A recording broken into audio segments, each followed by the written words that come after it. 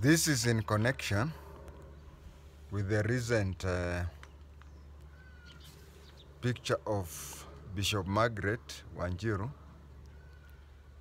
the sorry state that she looked, limping and uh, appearing in a place like place like looked like a hospital. Uh, we have to say pole for any sickness of anybody.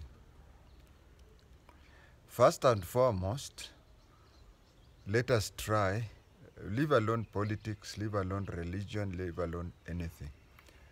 Uh, the Bible tells us, give unto Caesar what is Caesar's, and give unto the Lord what is the Lord's.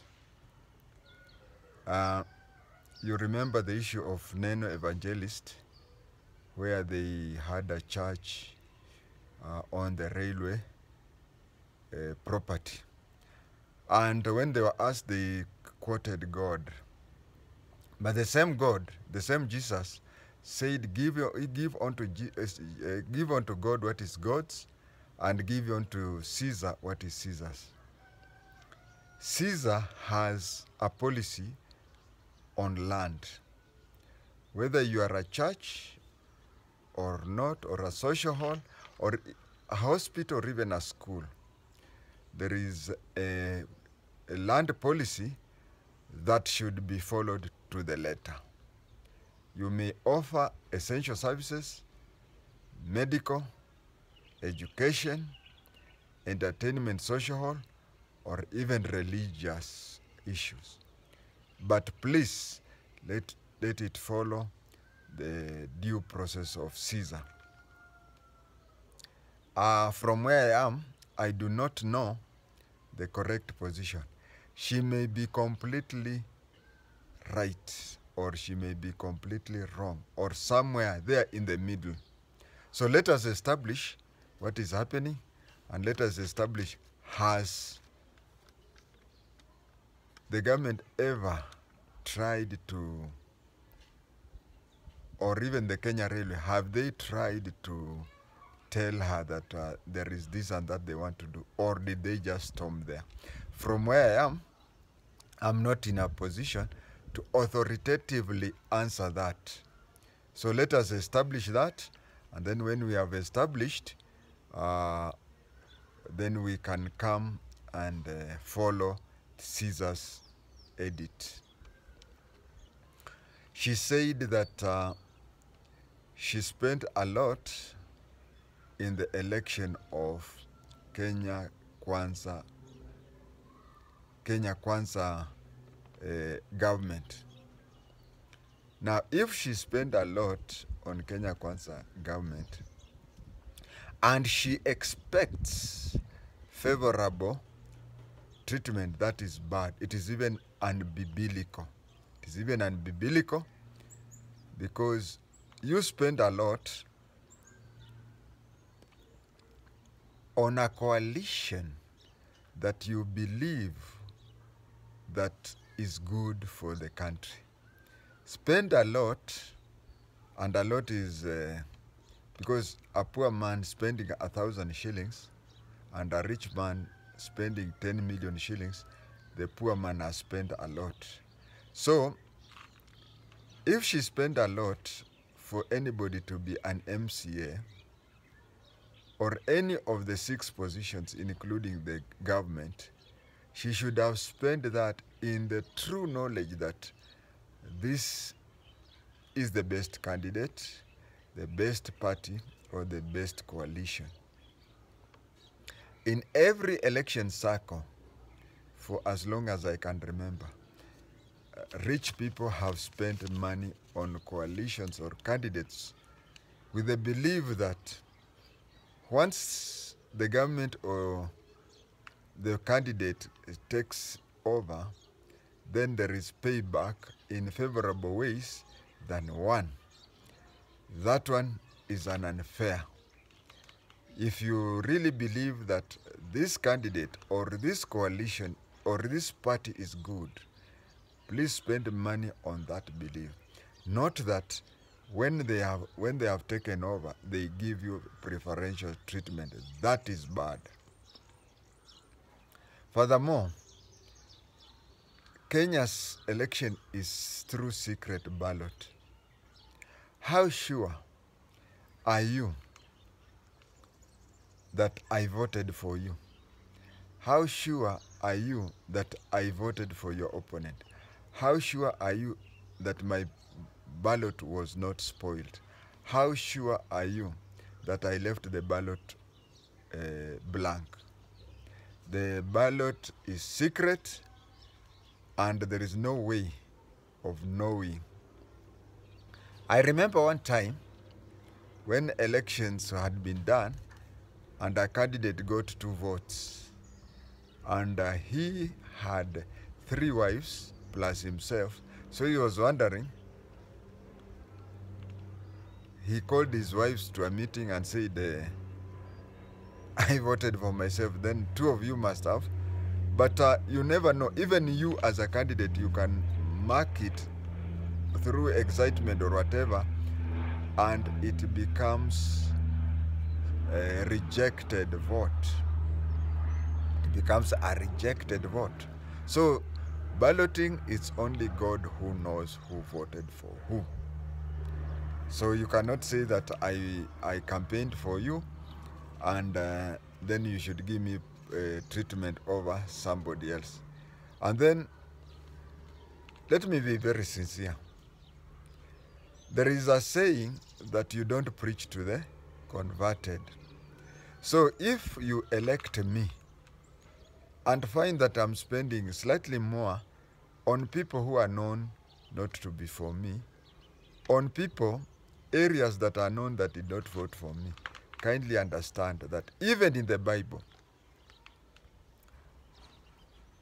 the farmer left his 99 cows to go and look for the one lost one.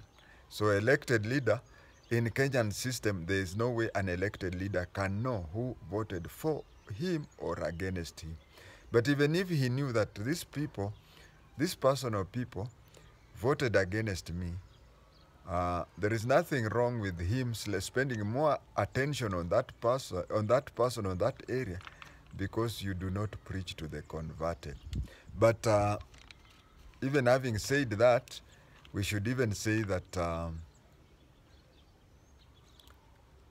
once a leader, be it even a village, a, a nyumba kumi person, once a leader has been elected, he or she serves all the people in his or her jurisdiction equally. Equally. You don't choose an area or a person because so and so, unless you are talking of personal stuff. You cannot take uh, the campaign manager of your opponent to be your constituency manager for obvious reasons.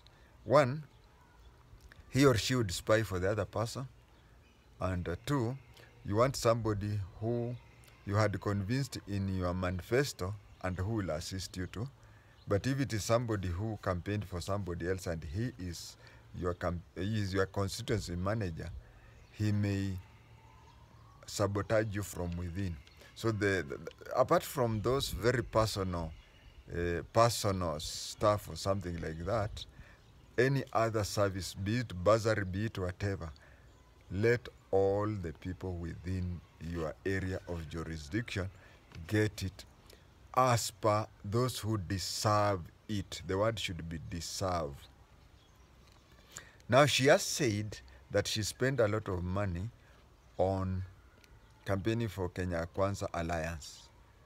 Well, this is her chronological things. She wanted to be uh, the governor of Nairobi, but then Kenya Kwanza settled for uh, Sakaja. Uh, when they settled for Sakaja, she was convinced to move over to a position of senator. Uh, I want to give us an example on the other side that uh, Tim Wanyonyi wanted to be the governor of Nairobi, but he was told that he would be the deputy governor to that cartoon. we have even forgotten his name.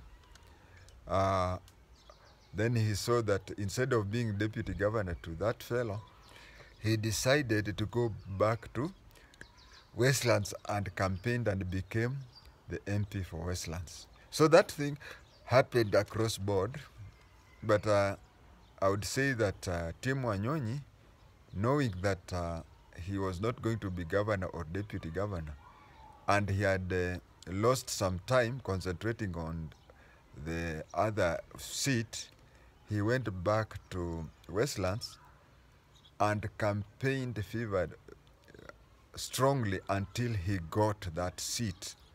He campaigned and got that seat, and that is what Bishop Margaret should have done. If Margaret was to be in the position of, I've never heard Wanyonyi saying that you see, if I were to be, and, and truly speaking,